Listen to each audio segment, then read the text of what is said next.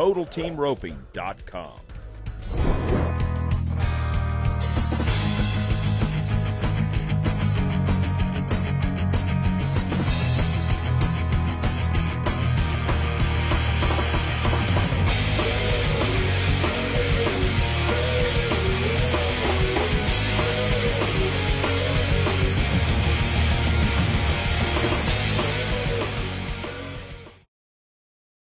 as he leaves, and he never seen the feet before he was throwing.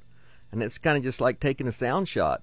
And that's the last thing you want to do right there is get in where you cannot see what you're throwing at or what you're trying to time, especially when you're a lower number of four, five, or six. If you can make yourself stay off of them just a little bit, just where you can see your target, it will become much easier for you. On his horse really didn't set down that good, so he had to hold his slack up. Now on this one, what happens here is the steer really doesn't leave the corner very good. He kind of dies out underneath him.